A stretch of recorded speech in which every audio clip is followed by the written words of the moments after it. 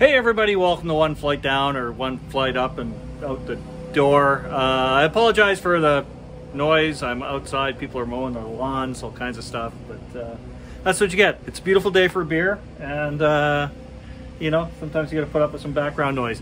Today I'm doing a beer that sounds kind of interesting. It's called Angry Jeff.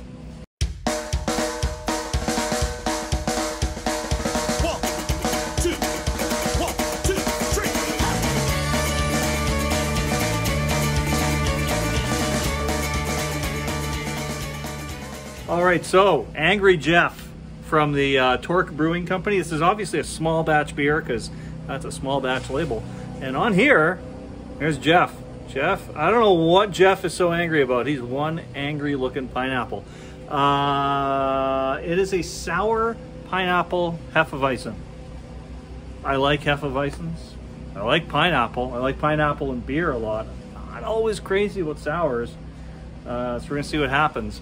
Uh, it's 5.2% alcohol, 10 IBUs, uh, packaged on March 24th. It's June 5th today, so pretty fresh.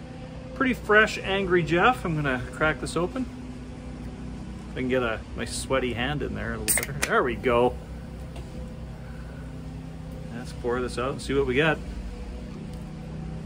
With a little bit of spillage, but uh, what are you gonna do? Right, so we're getting a lot of head. hard pouring without trying to hard pour.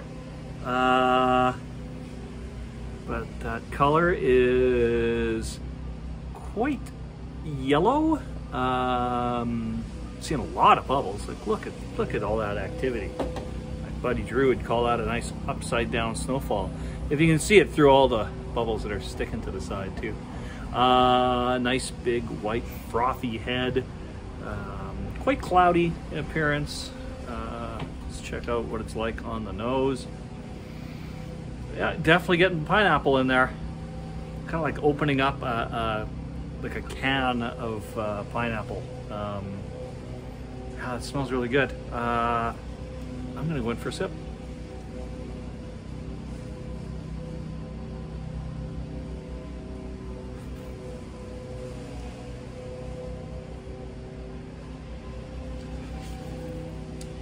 I think it's more sour than I would like normally. Um, I like the pineapple taste, but yeah, it's it's pretty tart.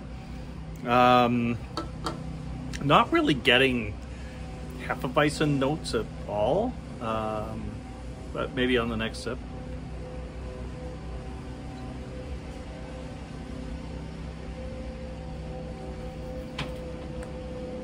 Yeah, I don't really get Hefeweizen at all. Uh, pineapple super strong. It's more tart than I would go for, as I'd say, as I said, but it's not bad. Uh, I'll have no problem finishing this. Uh, it's not a bad beer for a 32 degrees Celsius day. It'll keep me nice and cool. That's probably the important thing right now. All right, friends, thanks for uh, dropping by the Terry Isle Basement Pub outdoor patio. Uh, we'll see you all again real soon. Cheers.